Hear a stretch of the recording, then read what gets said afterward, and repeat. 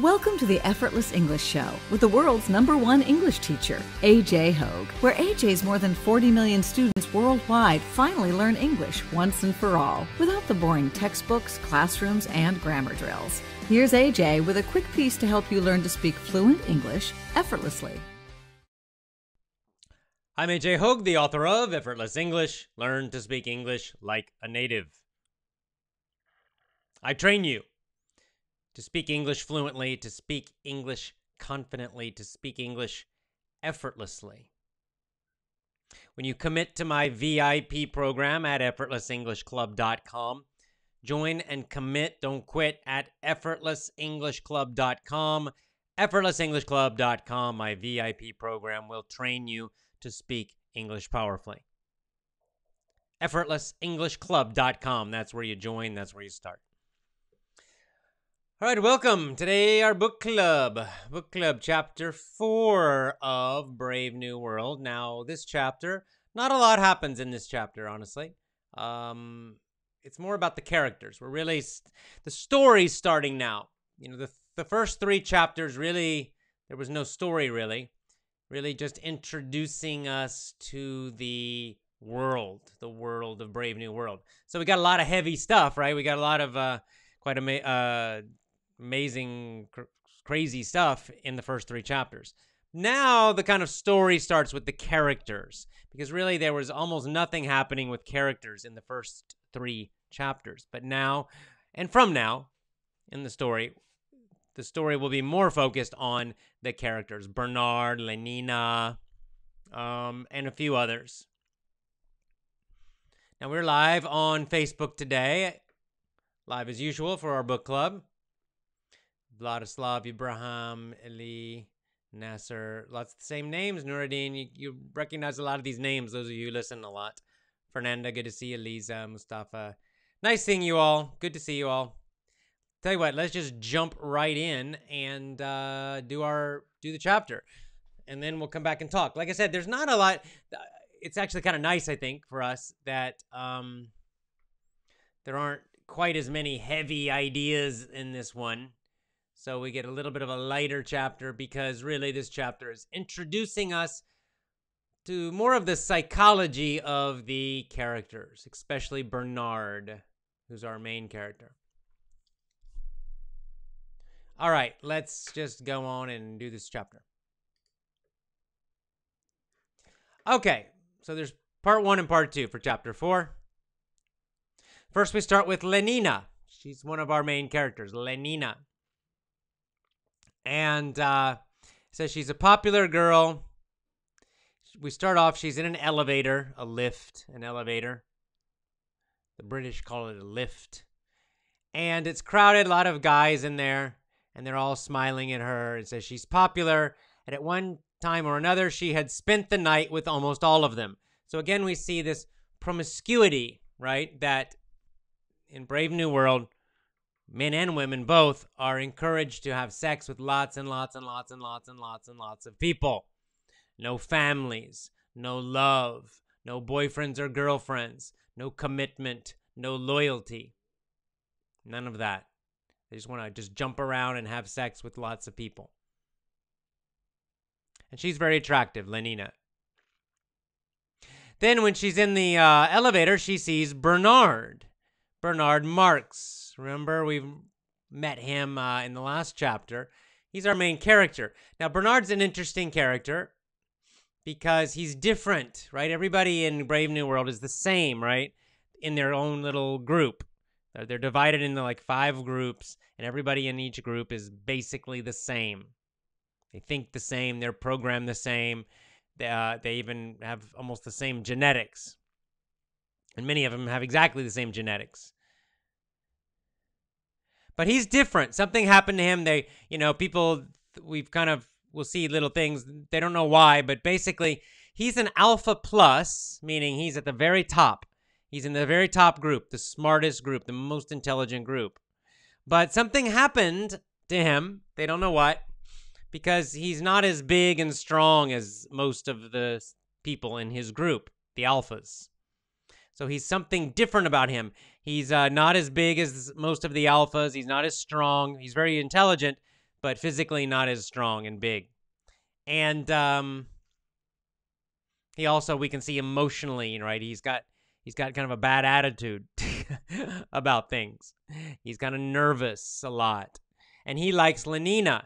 And see, Bernard is not like all the other ones. Bernard does not want to just have sex with lots and lots and lots of people. He's kind of in love with Lenina. He's very focused just on her only. So they're in the elevator, and Lenina sees him, and he asks her to go on a date, and she says yes. So in the elevator with everybody there, she says, "Oh, hey Bernard, let's go on a date. You know, let's go on a date in a couple weeks." And uh, Bernard's kind of embarrassed because other people are in the are in the elevator at the same time. He doesn't want to talk about it with the other people around. But Lenina kind of likes him too in a way she's not as deep, not as uh, intelligent as him, uh, not as individual as him. But there's something a little different about her because she's also like a little bit focused on just one person. It was this guy Henry before, where she she still has sex with lots and lots of people, but she has kind of a special feeling towards this one guy Henry, and she also has a little bit of a special feeling about Bernard. She likes that he's a little different. There's something about him that she likes. So in this way, Lenina is a little different too, not quite exactly the same. Because most of them don't like Bernard because he's different. So then they go up to the roof. And uh, there's a little section here I want to just mention. There's a lift man. There's, you know, kind of like in the old days where, actually, even in Japan, still now, sometimes some department stores, they have an employee who will do the uh, elevator, you know, press the buttons. There's an employee inside the elevator, and they called the lift man, elevator man. And they said he's a simian creature. Small simian means like a monkey, a monkey-like creature dressed in black of an epsilon minus, semi moron. So basically, a really, really, really stupid small person. So remember, we have these groups. There's the alphas at the top, and the epsilons down at the bottom. And the epsilons, they create them to be super, super stupid and small and kind of weak also.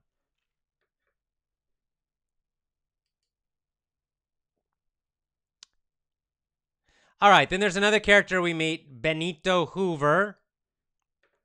He's uh after the um after they get out, they go up to the roof and Lenina leaves. Lenina gets into a helicopter.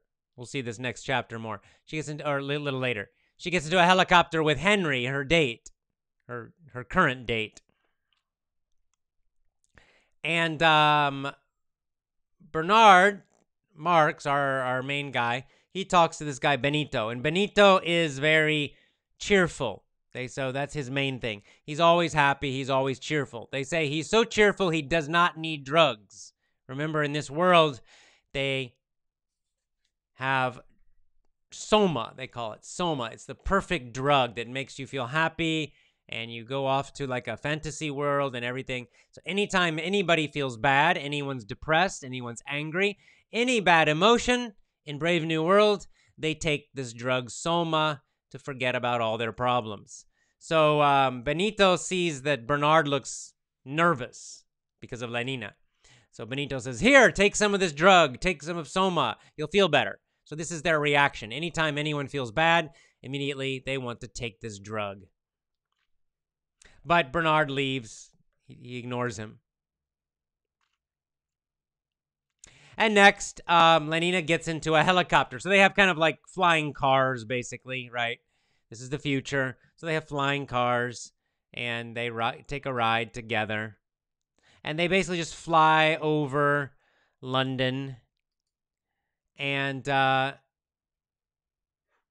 they go to a like a a place where they can get a like a rocket a rocket. So they're going to fly over to America to play golf to play obstacle golf. And uh, it only takes them 10 minutes because it's a rocket. So they fly, fly from London over to America in about 10 minutes to play they call it obstacle golf. Remember, all the games in Brave New World have a lot of equipment. So normal golf, you only it's too simple. So they add a lot of equipment, to, so you have to buy a lot of stuff and spend a lot of money. So that's it. That's all of her section. Part two focuses on Bernard. And basically, we start to get into his psychology in this section. And we just see that he's not happy. He's a very unhappy guy because he does not fit in. He does not fit into Brave New World. Everybody else is just happy and distracted, focused on sex, sex, sex, and drugs, drugs, drugs. But not him. He doesn't like those things. He doesn't care about that stuff. He gets nervous about things. She, he's a, he's jealous of Lenina. He's jealous that Lenina is going to have a date with Henry because everybody else is just having sex. Nobody's jealous. They're all having sex with every each other. But um, Bernard's kind of jealous. He doesn't like that. He's kind of in love with her. He feels he feels something special for her. And then it kind of talks about him that one of the problems with what makes him different is that he's physically different. Bernard is smaller than most alphas, right? In this world, the alpha's at the top, alpha plus, the very highest level. Well, he's got the intelligence of the highest level, but for some reason, his body is a little smaller, not quite as big, and this has made him different. It makes him feel different than everyone else, and everyone realizes he's different. He's not the same as all the other alphas. And they kind of joke about him, they make fun of him. They bully him a little bit, and that makes him feel like an outsider. makes him feel like he's outside of the society. He's not part of it. This is important for our story because this is why he becomes more and more red pilled because he doesn't fit in to all this craziness. So then um, Bernard, he takes a little helicopter. He goes to meet another friend of his. And the friend's name is Helmholtz Watson. Helmholtz Watson. So he flies over to the propaganda ministry, the propaganda college. That's where Watson works. Helmholtz Watson. Watson, his friend, works there. And they're gonna go and just and have a conversation. They they're good friends. Now, what's interesting about Watson, Watson's kind of uh, he's also different. He's not the same. He's also alpha plus. He's the top top group. But um, he's different. Bernard's a little bit smaller and weaker, so that's why he's different. But Watson's different because he's better than everybody else. He's actually even smarter than the other alphas. He's even stronger than the other alphas. He's superior to all of them. He's better than them. And that also makes him feel different. That also makes him realize that he's an individual, that he's different. He's not the same as all the others because he's better. And then it says, why are they friends? And, uh, you know, Aldous Huxley writes, what the two men shared was the knowledge that they were individuals. This is an important uh, point. So in Brave New World, nobody feels like an individual, right? They all feel like they're all just part of this big group, all part of the same big group, alpha or beta or whatever. They don't feel like they're individuals. They don't have individual thoughts. They don't have individual creativity.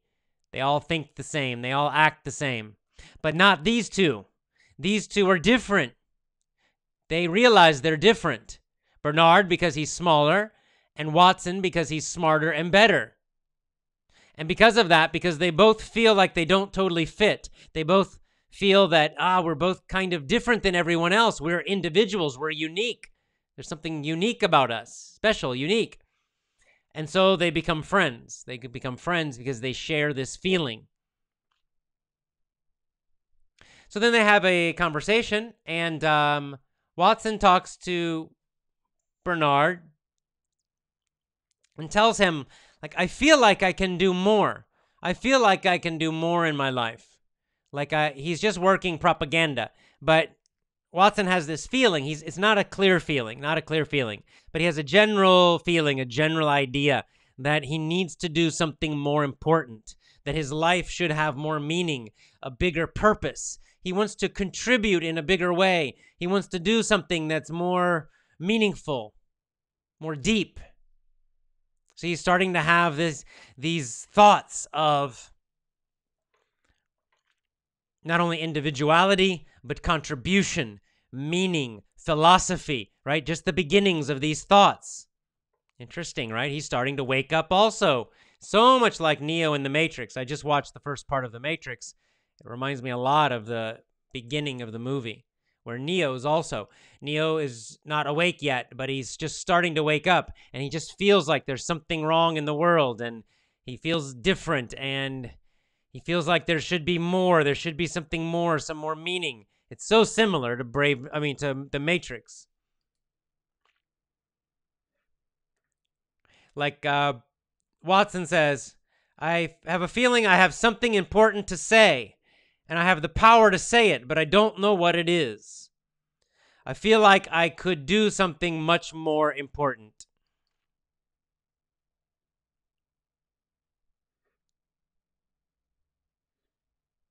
Then uh, Bernard is kind of paranoid because he's people make fun of him because he's different. Bernard thinks somebody's listening to them at the door and to their conversation, and he runs to the door, but there's no one there.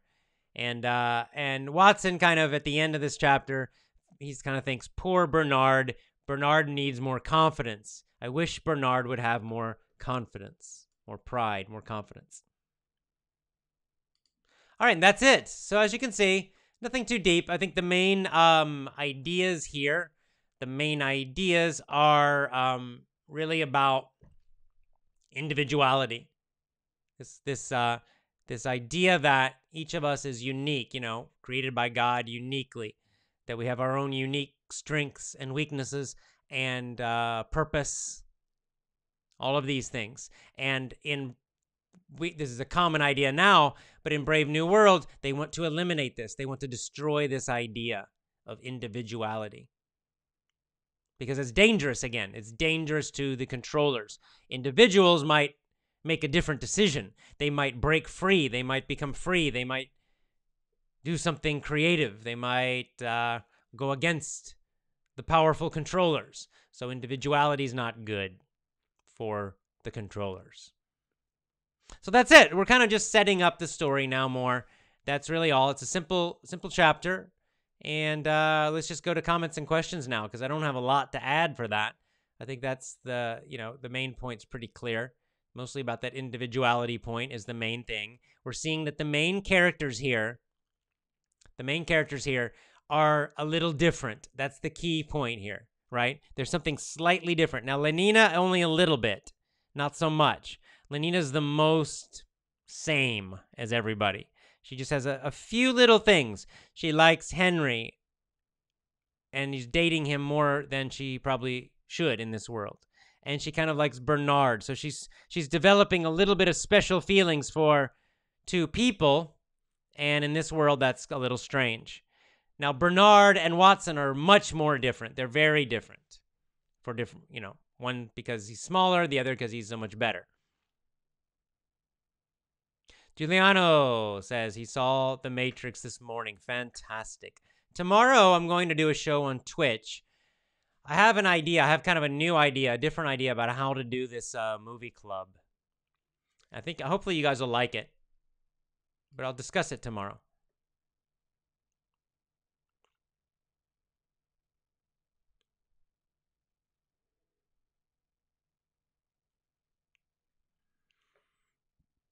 Okay, let's keep. Almost uh, just going through the comments here. A lot of people saying hello. Good to see you. Marcin says it's really fascinating that such a small group of people have taken control over the whole population over the last centuries if we think about it. It seems impossible but they did. Yeah, well, they it's the concentration of wealth of of money and power, which is, you know, in our societies. Because you could really go back you know, thousands of years. You could go back before the, you know, the Egyptian pharaohs, right? Where that gradually more and more power concentrated into smaller, smaller, smaller number of people. And as technology gets stronger, this gives them more and more power to control larger groups of people. So it, you're right, it's kind of scary, isn't it?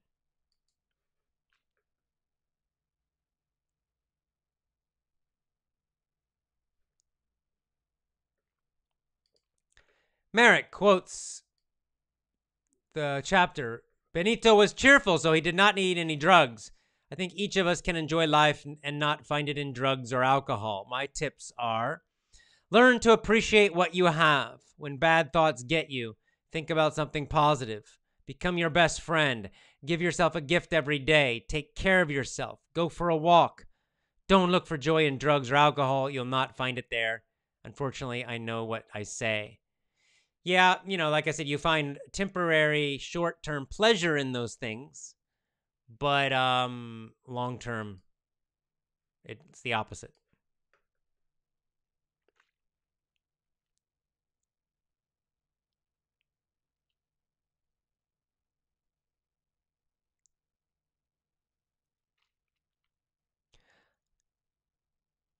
All right, let's scrolling through, guys. Oh, uh, cab question from Cardo. What do you mean by fit in? Fit in means you belong to a group. You fit in the group, right? It means you're the same as them. You belong. You feel like you're part of the group. If you don't fit in to a group, if you don't fit in, then you feel like you're not part of the group, really. You feel like you're kind of different, like they don't accept you or you don't accept them totally. You don't quite fit in.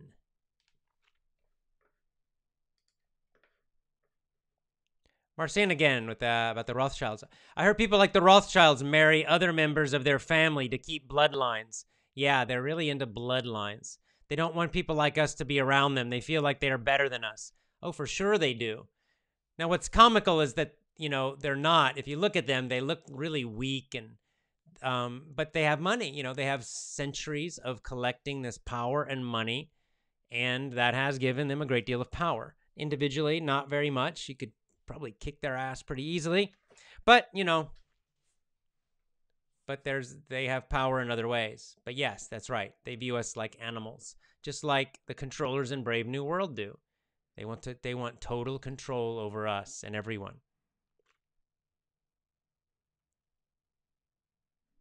Shagul says, "The more I awaken, the less I desire to fit in." Yes, that's what happens when you take the red pill. Um, in the beginning, kind of, well, we're seeing it in this book and we see it in the Matrix movie. We'll see it there too. That um, in the beginning, as you wake up, as you start to wake up, it's not, uh, it's not enjoyable. It can be painful.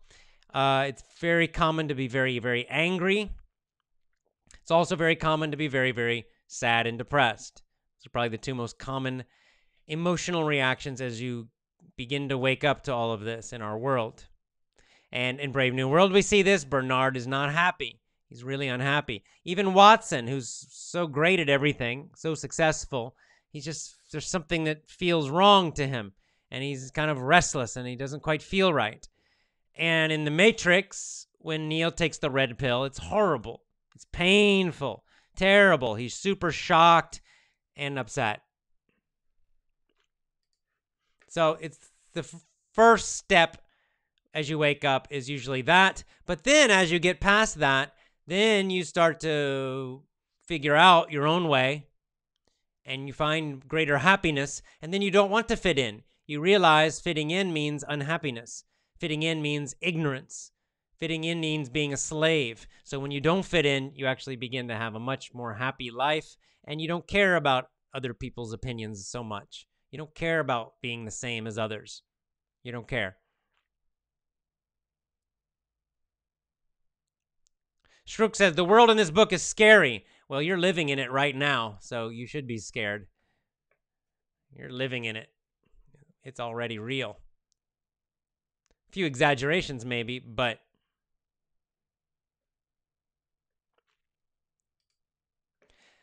Med says some people take individualism as being selfish and not caring about others or society. I think this uniqueness would have no use then.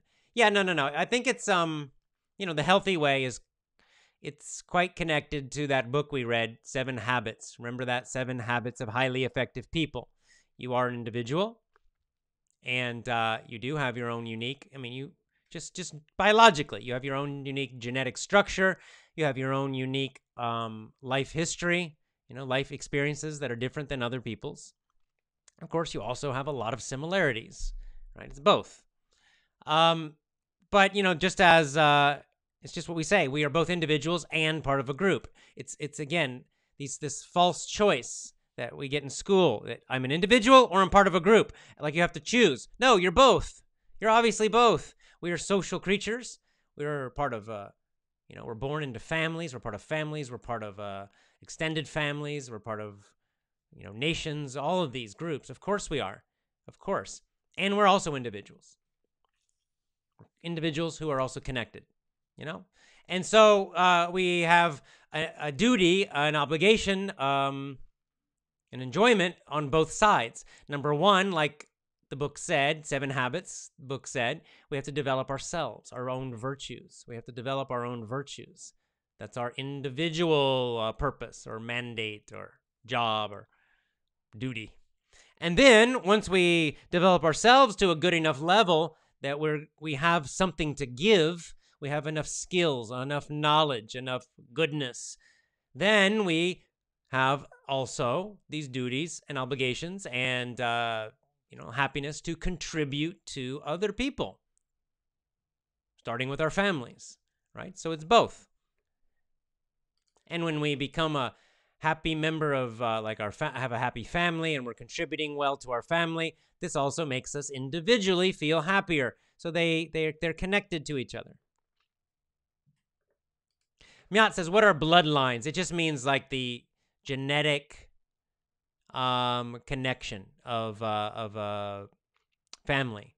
You know like father son they are on the same bloodline the same genetic line. And a, a lot of these groups they they marry each other, they marry their cousins, and this is why they're kind of messed up. Maybe that's why they're so evil. because they're actually psychotic now. They've they've really messed up their brains now by doing that too much. One theory. Okay, now Mikhail says, when are you going to do the first part of the movie, The Matrix? Um, two, whoops, wrong one. Get my calendar. I'll give you a date. Uh, what is today? Where is it? Uh, today's 29th. So um, the 7th, July 7, Sunday, about this time, about 8 p.m. Uh, Japan time. So July 7, right? So not tomorrow, but the next day. But tomorrow I'll talk about the book club because I have, I mean, the movie club. I have some ideas about doing it a little differently than I said. I, I today I kind of got a couple ideas to do it. Um, I, I think you'll like it because it's going to be more like an English lesson. I'll do use it a little more detail, using a little more of the movie technique. Um, but then I also have some ideas about how to do the live versus the recording. Live will still be on Twitch.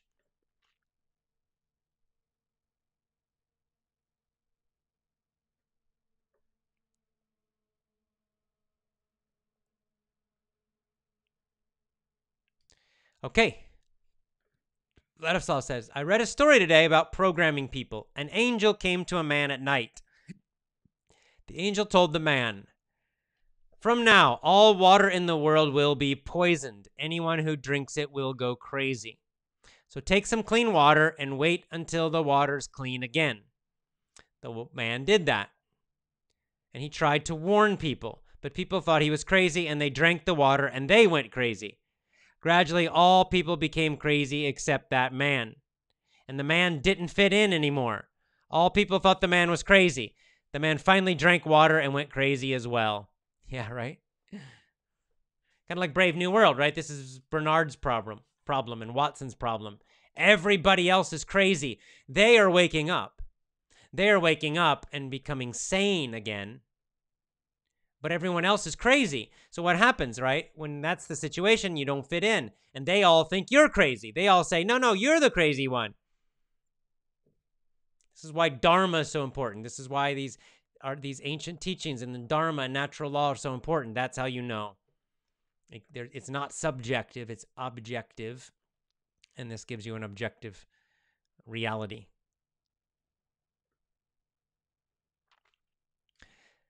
Nasser says people are brainwashed. They just follow each other like a herd. A herd is like a group of animals, like cows.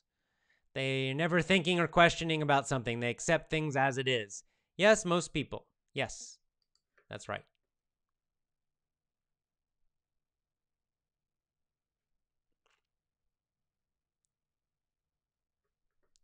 Lisa says Bernard and Helmholtz are starting to wake up. Here is already noticeable that with some people in the development machine, mistakes, errors happened, failed to make them perfect. That's right. Even with their machine of with the babies, still something happened. You know, nature ends up winning in the end. uh, it's a kind of a nice message. Um, it's actually a message of Michael Crichton, too, the guy who wrote Jurassic Park, that no matter how much we try to control, no matter how much power we as humans get, and so even in Brave New World, they have this, they think they have complete, total, 100% control over everything from before babies, and yet still something happened. Still something happened, and they have these two guys who are different. Somehow something happens still. You know, maybe it's a random chance. You could call it, uh, I don't know, spiritual intervention, whatever it is. But that's a nice point.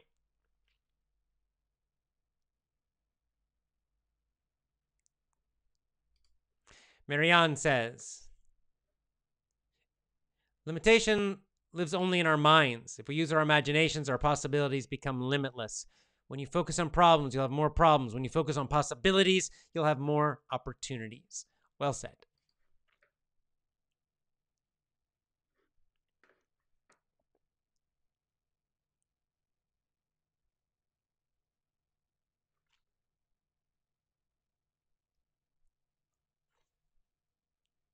Tuan asking my live shows when do they begin at a consistent time?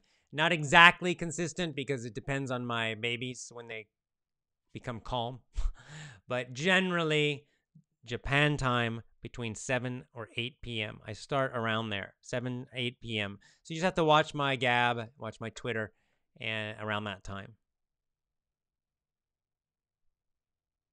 Oh, Mikhail's gonna, uh, Mikhail's gonna join the movie club.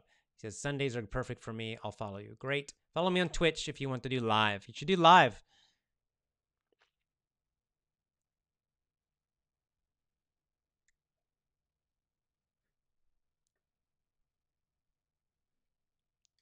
Muhammad Dawood says, My journey in English started with you since Bubba's Food in 2008. Way, way back. I'm pretty sure that in the end, God will win against the devil. Yes, but knowing ourselves deeply guide us to natural law more. That's the key. Indeed, indeed. We still have to fight. We still have our duty to fight.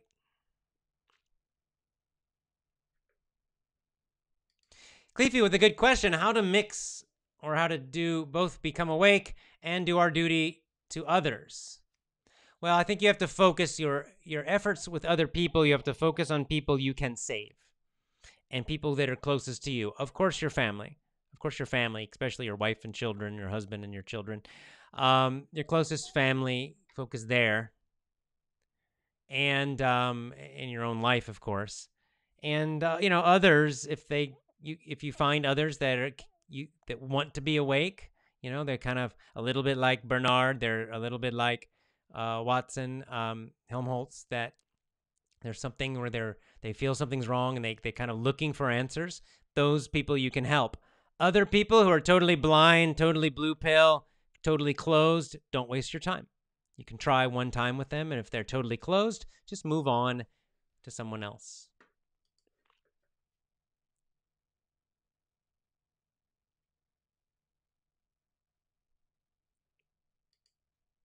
Yeah, Marcin says in Seven Habits, the writer says we shouldn't focus on things we have no that don't we have no influence against, no impact on.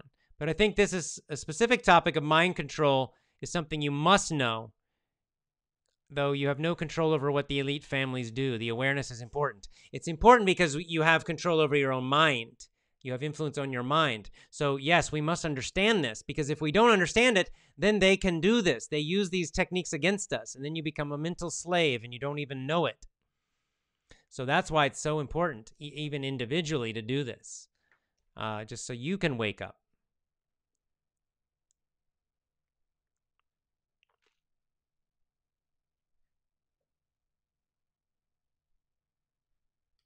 Mikhail is asking, will Star Wars A New Hope be our movie club? Yes, one of my favorite movies, Star Wars, the first, the original Star Wars. Yes. Ah, Merrick with a good point. Register early on Twitch. You have to wait 24 hours to add comments. Good point. If you want to comment on my live Twitch videos, you should register now so that tomorrow you'll be able to comment.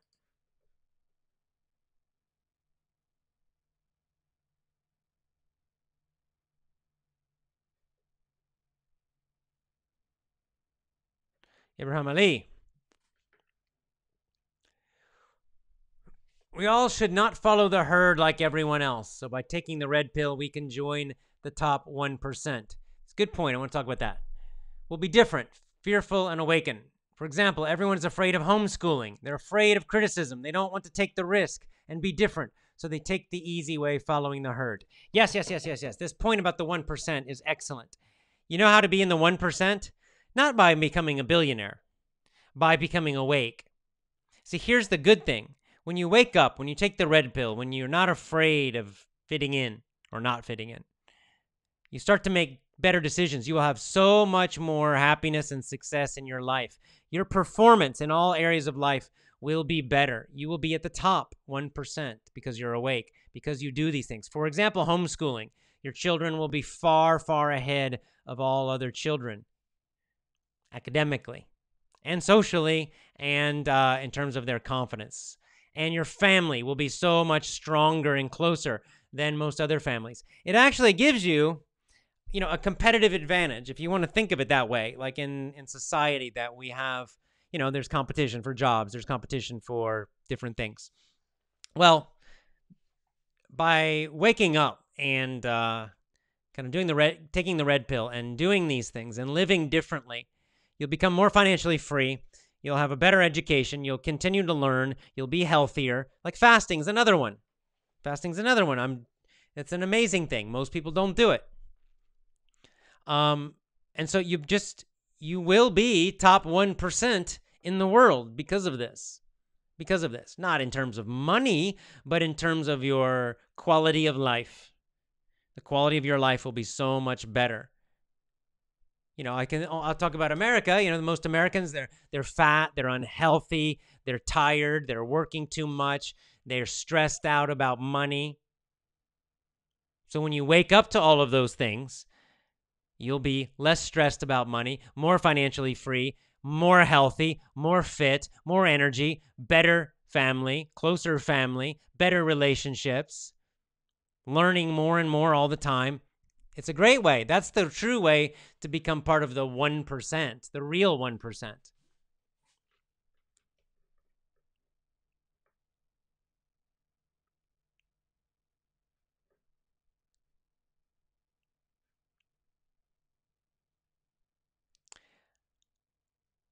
Twan's asking, uh, I got a question.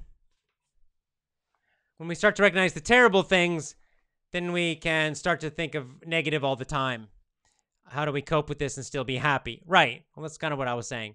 You know, that it's the first stage. It's normal. The first step, you're going to be angry or sad or both for a while. And then you begin to find, see, right then you have to figure out, well, how do I live in Brave New World? You know, we're living in it now. How do I live in Brave New World and still be happy? Well, you have to make different choices. You have to be strong enough to go against all of those bad things right? You live a dharma life. You live, you follow dharma, you follow natural law. That's how you do it. That's how you do it. And then you become happier. You get through the anger, you get through the sadness, and then you become much happier as you more and more make your life to fit and follow dharma, truth, goodness, beauty. You have a beautiful life, a truthful life, and a good life. So it's just don't don't don't worry in the beginning if you feel bad. It's normal. Just keep going.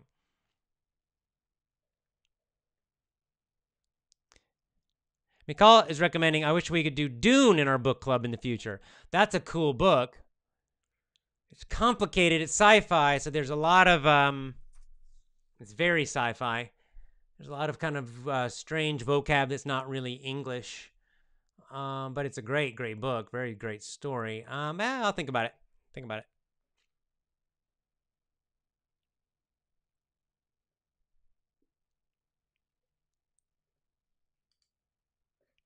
Ozma says, I agree when you have the ability to think, but in Brave New World, they're programmed from being a baby.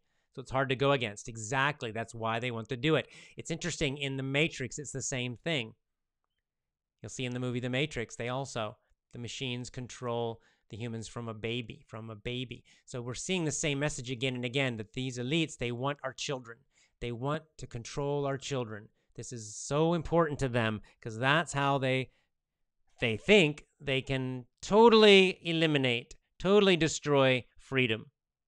They can have total control by getting our children younger and younger. This is why they want school younger and younger and younger to start. This is why they want to make school more hours every day. This is why they don't want summer vacation from school. They want the children to be in school all year, all the time. So be careful. This is why they're doing all this stuff with, you know, trying to sexualize children. They're doing it in America with all this trans crap. It's horrible.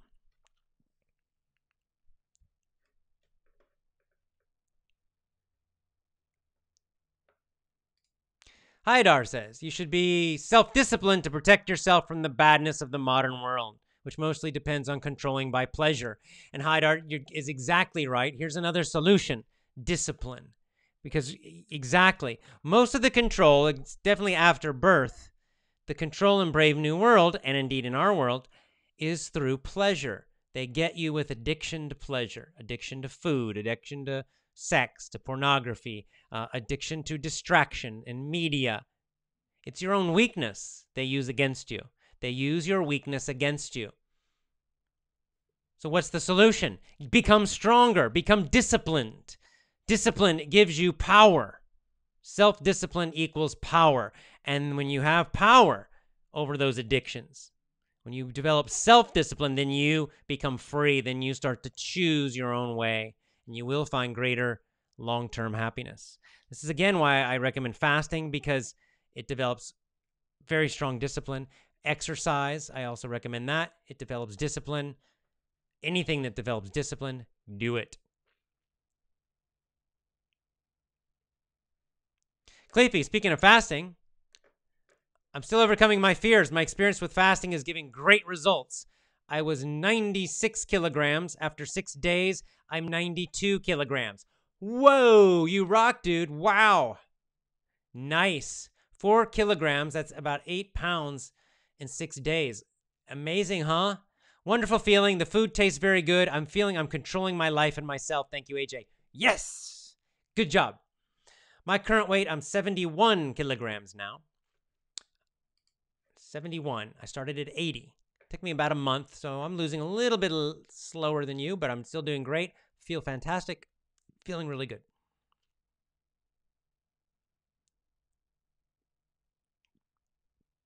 Excellent. Elita is um, recommending The Little Prince for one of our next books. That's a nice little book. Yeah, that would be a good book club book. It's a cute little book, very nice, nice little message in it, and uh, simple. Not not too complicated. Short. So good idea. The Little Prince.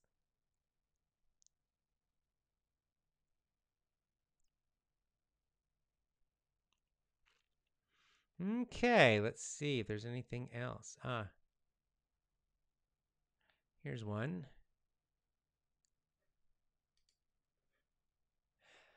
From Kade Kade Somo. I've been wondering why I always feel frustrated to express how I feel about things since I was young. Especially, I don't know what love is and I never felt it. More doubtfully, I always ask myself, even if I'm an uncivilized human, if I have spirits inside me. Or a soul. Do I have a soul? I know other feelings of sensation, such as being afraid and excited, but I don't think I've ever loved someone, even myself. What should I do? Here's the thing love is not an, an emotion. It's a it's a decision. There's a nice book I think with that title. Love is a commitment. It's a decision you make, okay? It's not just some feeling. Okay, that feeling can come and go very quickly. You can be attracted to someone, oh, and the heart's beating and ah, I love them, right? And then, you know, a couple months later that's gone.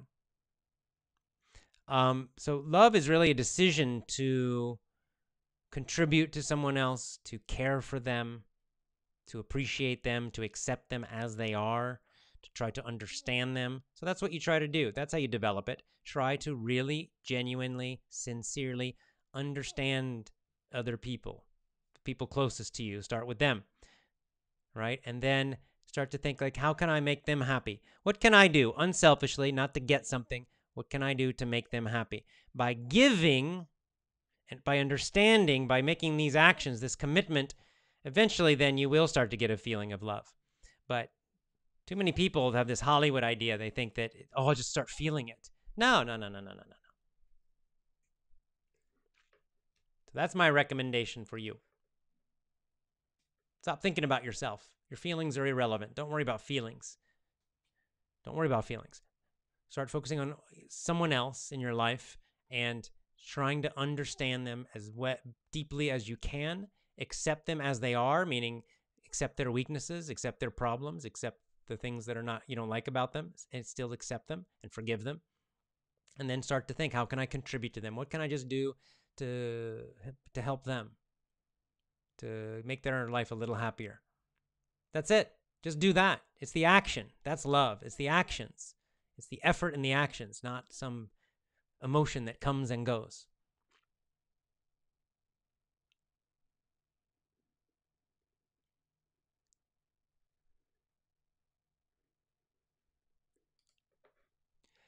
People should be financially free in all aspects of life, ideally. But unfortunately, in our in poor countries, all people should follow the government. That's not true. Don't follow the government. Screw the government. The government is not your friend. It is your enemy. Every country, the government is your enemy. You you don't need a lot of money to be free. Not about money.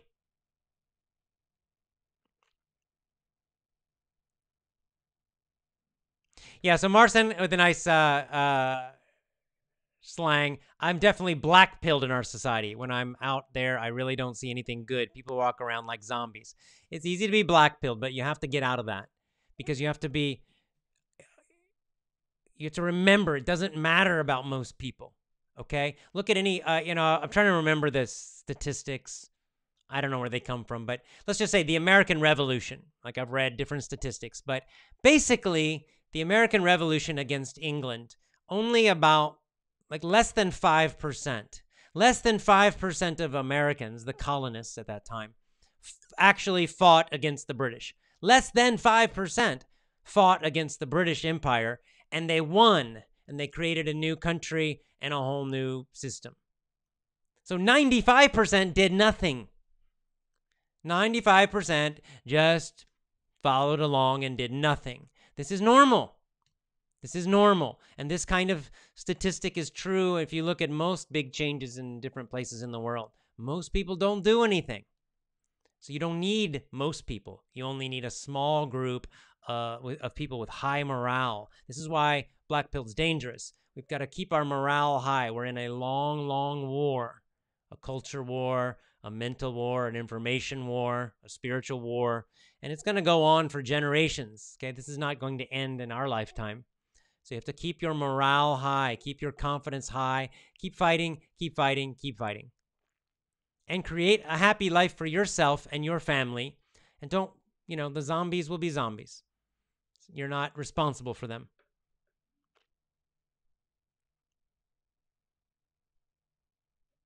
Yeah, like Lisa has good advice. It's very important we have a spiritual life develop strong faith in us, create inner stability, balance, and togetherness. So there's no separation. We'll be much stronger together. That's right. Just like I talked about recently, by making what is Brave New World attack? They attack families, they attack children, they attack love and connection. Right? So, how do you fight against it? Focus on your family, build strong families, have lots of children, uh, homeschool your children, create train your own children, keep them away from all of that. You do the opposite. You do the opposite. Have a spiritual life. Uh, the, Brave New World attacks God, hates the idea of God or spiritual life. So develop a strong spiritual life, at least a strong philosophical life. Because again, Brave New World, they hate thinking. They hate people who think about life and the meaning of life and where does life come from and what is the purpose. They don't want them to think that. So think about those things and read those kind of books.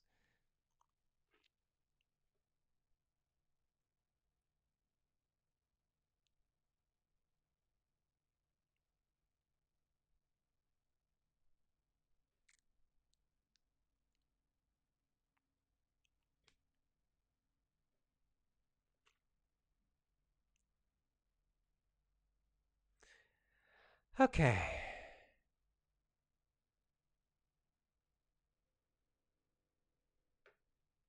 Um, let's see.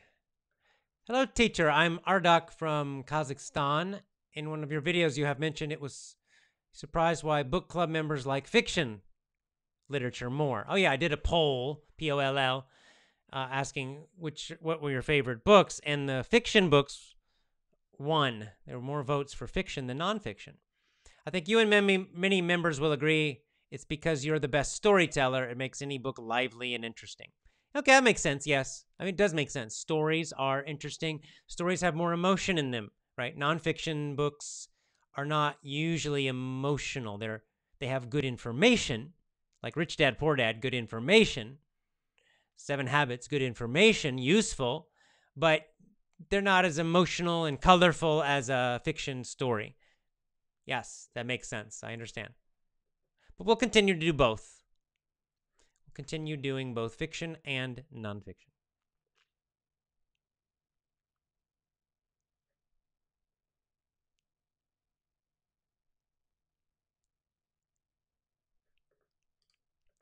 Jamal says it's very it's really important to feel in harmony with our values. Yes, this is a, this is called integrity in um, English. Integrity is when your values, you know, uh, your virtues that you want to live are you're actually doing them right? If you value honesty you know honesty is a virtue then it means you really are honest in your life for example. So yes it is important and it does create a strong feeling of confidence and happiness as you do that more and more. It's not always easy we all know that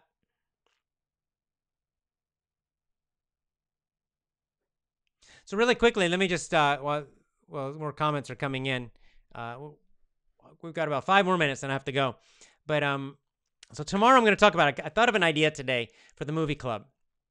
So my original idea, which I mentioned before, was uh, we'll divide the movie into six parts about, and uh, and then each week I would just generally I would review and summarize that part of the movie and then I would kind of discuss the major ideas, the main ideas, and then we would do question and answers as usual, discussion as usual. But I started to think maybe I could actually do it a little more like an English lesson. So do all of that, still do what I just said, yes. But also teach a little more of the vocabulary, like show a few minutes, like a little speech or a little section of the movie, use a little bit of the movie technique to review some of the phrases and vocab so you actually learn a bit more English. And what I'm thinking of doing is doing that live on Twitch, and it would be free, but then recording it, and then later, for people who want to watch it later, sell it as a, like a little small course. Uh, so like a less expensive course. And this would do a few things. Number one, if you want to do it, if you don't have any money, you can watch it live and get it free. And in fact, I think I can figure out on Twitch that maybe even it would be available on Twitch for like one week because on Twitch they kind of disappear like like on uh like uh Periscope used to be. So that would give people who really want to just need it to be free. You can just watch it free. But then people who want a recording, like a long-term permanent recording, then I will record it and then I'll sell it on my website uh, not too expensive. And this would be a way for you to get like movie technique courses. I could do them several every year. And this would support Effortless English. It would support the podcast. You know, many of you have mentioned maybe like I should do some kind of membership or something to support the show. But this would be a way to support the show. And then I don't have to use, I don't need to depend on Google, can't trust Google, can't trust YouTube, can't trust Facebook that way I can just uh, by selling these little um, recorded movie uh, technique courses, uh, it would support the blog, support the show, the podcast, um, and it would give you all some cool movie technique lessons, and I wouldn't have to worry about the copyright stuff on these other uh, channels. So I think that might work. We'll talk more about that tomorrow. You'll still can watch it. You'll still be able to participate live for free. So it's kind of a good reason to watch and join the live show on Twitch.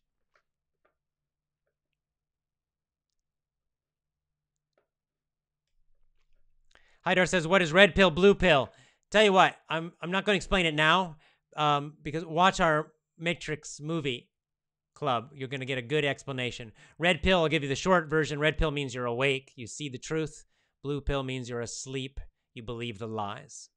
But we're going to get a lot about red pill and blue pill in the Matrix because that's where it comes from.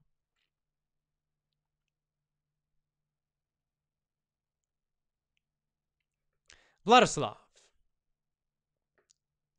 Education's getting worse and worse now. Oh, I agree. I have a bright example. My cousin just graduated from medical college in the Russian city of St. Petersburg. When she applied, it was a popular college in the city. Prepared to be a great nurse. Professors were great. But a terrible director came. Everything became worse. Good professors were fired. Many terrible ones were hired. So a woman at the top has destroyed everything. Education is terrible now here. Everywhere, education is terrible, Vladislav. Everywhere, it's getting worse. America's a joke. You think Russia's bad? America's 10 times worse or more. American education is a joke. I would never send my child to an American school. Never. It's a disaster. It was already becoming bad when I was in school and now it's just a disaster. Education is part of Brave New World.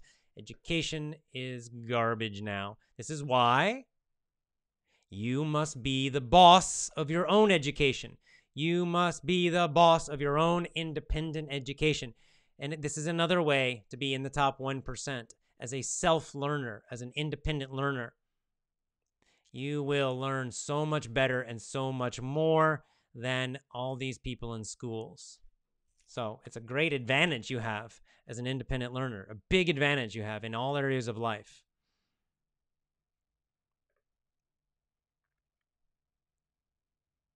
All right, guys, I think that's all. Well, I'll be back again tomorrow. So that's a good one. Brave New World, Chapter 4. Hope you enjoyed it. Um, again, like I said, this chapter, fairly light, mostly introducing us to the characters Bernard Marx, our main character, Helmholtz Watson, his friend, they're both different. And then Lenina, that Bernard likes her, kind of kind of in love with her. She's a little different. But the other two guys are very different. That's all. Well, next week we'll do chapter 5. Tomorrow, join me on Twitch, Twitch TV Live. About this same time again, starting twitch.tv. Twitch.tv Follow me at AJ Hoge, A J H O G E. You should follow me now because you can you have to wait 24 hours after you follow me until you can comment. That's like a Twitch thing. Um, so if you want to comment, you gotta you should follow me right now. And in the future, if you want to do if you want to get the free movie club, if you don't want to buy it, if you want to get it free, live, joining it live, then again, follow me on Twitch. Twitch.tv. My account is AJ Hoge. And of course, as always, join my VIP program. That's where you really learn to speak English fluently and powerfully and effortlessly. You got to commit to my VIP program at effortlessenglishclub.com. Go there now, effortlessenglishclub.com.